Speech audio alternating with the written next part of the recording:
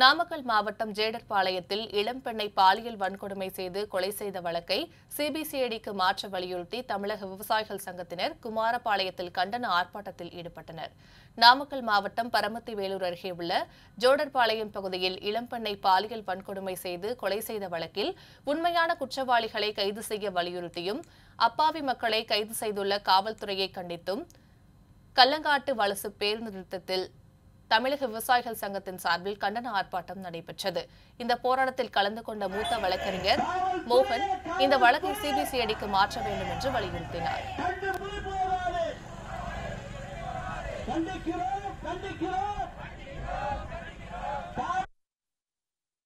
கூடிய கரப்பாளையம் பகுதியிலே கடந்த இருபத்தி ஒன்று மூணு ரெண்டாயிரத்தி இருபத்தி மூணாம் தேதி